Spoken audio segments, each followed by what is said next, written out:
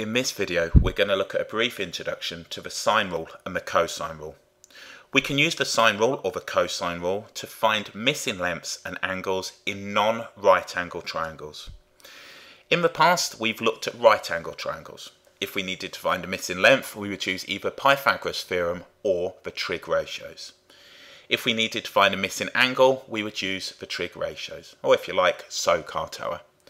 We'll still use those if we have a right angle triangle, but when it comes to non-right angle triangles, we will use either the sine rule or the cosine rule.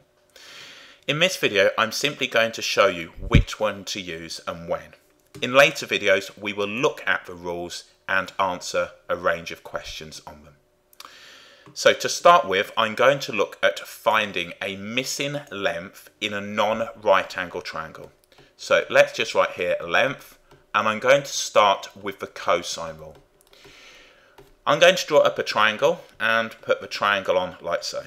I'm just going to put some values on here. Let's say that this angle was going to be 30 degrees, this length was going to be 10 meters, and this length was going to be 13.1 meters. I'm going to call my unknown side x. If we have an enclosed angle, we use the cosine rule to find the missing length. When I'm talking about an enclosed angle, the 30 degree angle is between a known side of 10 meters and a known side of 13.1 meters. So we have the scenario here where we have an enclosed angle. To be able to use the cosine rule to find a missing length, we will be given one known angle and two known sides. This will allow us to find now the missing side. This is when we use the cosine rule. Enclosed angle, so the 30 degrees is enclosed, and we have a known angle and two known sides. Let's look at finding a length using the sine rule. With the sine rule, we don't have an enclosed angle. So again, if I just draw a triangle up, I'll put some different values on this time. Let's say that this is going to be, we'll say that this is going to be 35 degrees. I'm going to say that this side length is going to be 6 millimeters. I'm going to say that this angle here is going to be 42 degrees.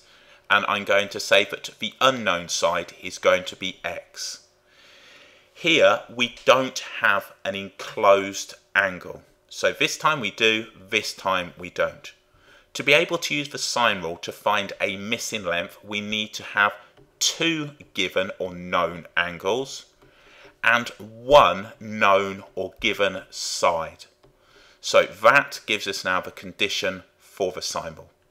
The way I like to think about it now is, have I got an enclosed angle? If not, I'm going to use the sine rule. If I've got an enclosed, I use the cosine rule. Okay, let's look at finding a missing angle.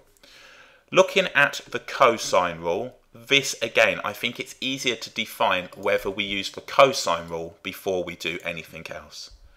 I'm going to call this angle here x. The angle might be theta, for example. I'm just going to call it x.